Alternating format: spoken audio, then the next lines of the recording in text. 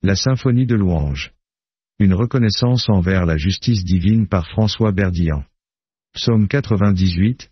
Avant de commencer, n'oubliez pas de vous abonner pour ne manquer aucun épisode de notre exploration des richesses de la foi. Parmi ces mélodies sacrées, le psaume éclate comme un hymne célébrant la justice, la miséricorde et la fidélité divines envers Israël et toutes les nations.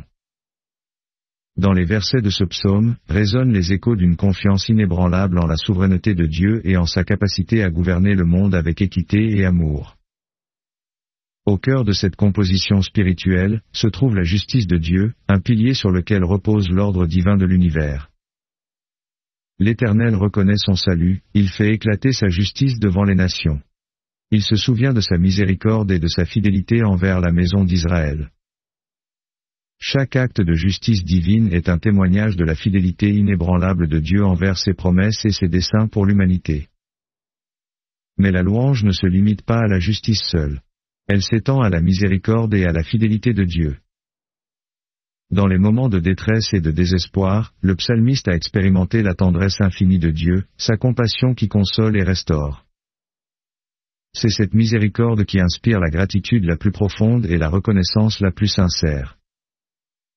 Que toute la terre entende, réjouissez-vous, soyez dans l'allégresse, dans la joie, et cherchez. Chantez à l'Éternel avec des carquois, avec des carquois et avec la voix du chant. Au sein de cette symphonie de louanges, nous sommes invités à la joie et à l'allégresse. C'est un appel vibrant à rechercher Dieu dans la jubilation, à se tourner vers lui avec des cœurs reconnaissants et des esprits exultants. La mer et ce qu'elle contient, le monde et ses habitants, sont troublés. Les fleuves sont dans l'allégresse et les montagnes dans la joie. La scène décrite dans ce psaume atteint les profondeurs de la création elle-même. La nature, avec tous ses éléments, participe à cette symphonie de louanges. Les montagnes exultent, les mers rugissent, et les arbres dansent devant la majesté du Créateur. En présence de l'Éternel, qui vient juger la terre, il jugera le monde avec justice, et les nations avec équité. C'est un appel vibrant à la célébration et à la foi en la justice divine. Une invitation à s'unir dans une symphonie de louanges, reconnaissant la grandeur de Dieu et sa constante bienveillance envers toute l'humanité.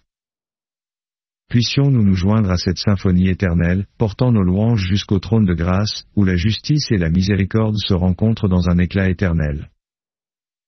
N'oubliez pas de vous abonner pour ne rater aucun épisode de notre émission. À la prochaine, pour une nouvelle immersion dans les richesses de la foi chrétienne.